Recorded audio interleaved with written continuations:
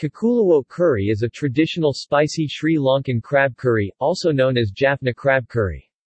The dish originated in the northern regions of Sri Lanka but is popular around the country, mostly in the seaboard areas where fish and other seafood are staple foods. The dish is served with rice, pittu or bread. Preparation The dish typically uses either blue swimmer or mud crabs, which are cleaned, removing the gills and fibrous membranes then broken into smaller portions. Onion, garlic, ginger, fenugreek seeds, curry leaves, cinnamon, chili, turmeric, salt and coconut milk are mixed in a clay pot and allowed to simmer over medium-low heat.